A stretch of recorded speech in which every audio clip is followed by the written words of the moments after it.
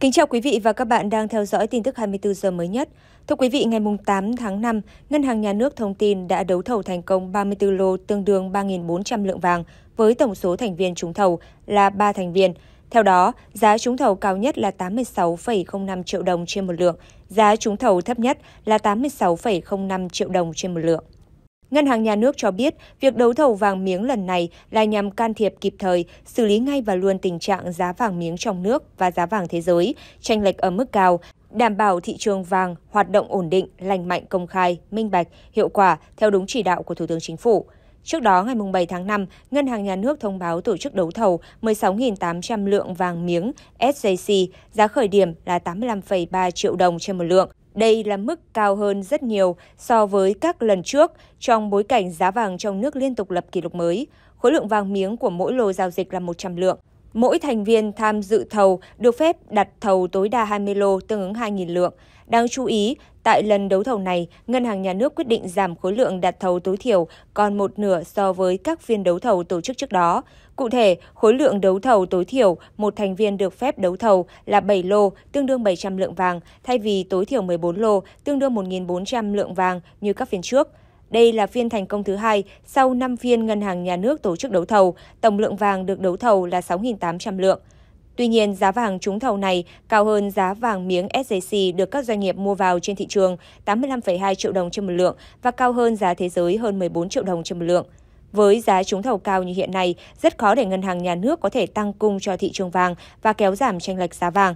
Bình luận về giá đấu thầu vàng cao, tiến sĩ Lê Xuân Nghĩa, chuyên gia kinh tế cho rằng, về nguyên tắc người tham gia đấu thầu quyết định về giá, người mua quyết định về số lượng. Tuy nhiên với đấu thầu vàng, ngân hàng nhà nước vừa quyết định về giá lại vừa quyết định về số lượng là không hợp lý. Ngoài ra, mức giá đấu thầu hiện nay cũng quá cao, không thể đạt được mục đích kéo giảm tranh lệch giá vàng. Với giá vàng đấu thầu cao như hiện nay, doanh nghiệp mua vàng đấu thầu sẽ phải đối mặt với nhiều rủi ro nếu giá vàng quay đầu giảm. Việc các phiên đấu thầu vàng liên tiếp phải hủy hoặc trúng thầu với tỷ lệ thấp khiến các chuyên gia lo ngại ảnh hưởng đến tâm lý thị trường, khiến tranh lệch giá vàng càng tăng mạnh. Theo chuyên gia này, không nên lo lắng về tỷ giá, bởi lâu nay không cho phép nhập khẩu vàng thì ngoại tệ vẫn chảy vào vàng qua đường nhập lậu, tranh lệch giá vàng cao khuyến khích nhập lậu vàng. Theo tính toán của Hội đồng vàng thế giới, nhu cầu vàng trong nước khoảng 50 tấn trên một năm, nếu nhập khẩu tốn hết khoảng 3 tỷ đô la Mỹ, một con số không quá lớn. Chưa kể, cho phép xuất nhập khẩu vào chính thức sẽ khuyến khích xuất khẩu vàng nữ trang, giúp thị trường cân bằng được ngoại tệ. Về nỗi lo vàng hóa, theo chuyên gia này, ngân hàng nhà nước đã tách vàng ra khỏi hệ thống ngân hàng, cấm vàng trở thành tiền gửi và cho vay trong hệ thống ngân hàng, nên vàng hóa đã kết thúc, không cần lo lắng về vấn đề này. Thưa quý vị, sau nhiều lần đấu thầu vàng thất bại, giá vàng miếng trên thị trường tiếp tục lập kỷ lục, tăng nóng, còn trên sàn đấu thầu thì nguội lạnh. Thời gian qua, Ngân hàng Nhà nước Việt Nam đã thực hiện giải pháp đấu thầu vàng, nhưng trái với kỳ vọng, diễn biến trên sàn đấu thầu hoàn toàn trái ngược với diễn biến của thị trường vàng bên ngoài, bên nóng bên lạnh. Thực tế cho thấy thị trường khi vàng miếng liên tục tăng giá và thiết lập các kỷ lục mới 87,5 triệu đồng trên một lượng, trong khi các đơn vị tham gia đấu thầu vẫn có thái độ khá rừng rừng. Cụ thể trong lần đấu thầu đầu tiên, các doanh nghiệp không kịp chuyển tiền đặt cọc vì thông báo mời thầu được gửi sát giờ đóng cửa của các ngân hàng nên phiên đấu thầu bị hủy. Phiên đấu thầu thứ hai được tổ chức thành công nhưng chỉ có 2 trên 11 đơn vị trả giá với khối lượng trúng thầu 3.400 trên 16.800 lượng vàng miếng gọi thầu. Trong phiên đấu thầu lần thứ ba, Ngân hàng Nhà nước trao thầu 16.800 lượng vàng miếng nhưng lại tiếp tục bị hủy do chỉ có một đơn vị nộp phiếu dự thầu. Tương tự phiên đấu thầu thứ tư cũng bị hủy do chỉ có duy nhất một đơn vị tham gia. Trong phiên đấu giá mới nhất, sáng ngày 8 tháng 5, Ngân hàng Nhà nước đã thông báo có 3 đơn vị trúng thầu với tổng khối lượng là 34 lô, tương đương 3.400 lượng vàng. Giá trúng thầu cao nhất trong buổi đấu thầu là 86 triệu 050 triệu đồng trên một lượng và giá vàng trúng thầu thấp nhất là 86 triệu 050 nghìn đồng trên một lượng. Như vậy, sau 5 phiên đấu thầu, chỉ có 2 phiên tổ chức thành công với tổng lượng vàng bán qua kênh đấu thầu là 6.800 lượng vàng. Dù được đặt nhiều kỳ vọng và đã từng có tiền lệ, nhưng vì sao các phiên đấu thầu vàng lại liên tiếp bị hoãn, hoặc nếu có diễn ra thì kết quả cũng không như mong đợi. Theo ý kiến của một số chuyên gia, nguyên nhân chính là do giá tham chiếu mà ngân hàng nhà nước công bố không thấp hơn giá giao dịch trên thị trường. Điều này đã khiến cho doanh nghiệp phải rất thận trọng vì phải tính toán bảo đảm lợi nhuận sau khi trúng thầu. Các chuyên gia cũng nhìn nhận việc tăng cung vàng miếng ra thị trường thông qua đấu thầu để kéo giảm giá là giải pháp cần thiết và hữu hiệu trong trước mắt. Tuy nhiên, để các phiên đấu thầu tiếp theo không bị hủy, vấn đề đặt ra là cần điều chỉnh lại mức giá tham chiếu. Bởi như ý kiến của một chuyên gia thì muốn hạ mức giá chênh lệch nhưng lại đưa giá tham chiếu cao thì mâu thuẫn với mục đích phải đưa giá tham chiếu thấp hơn giá thị trường mới có thể kéo giá vàng xuống.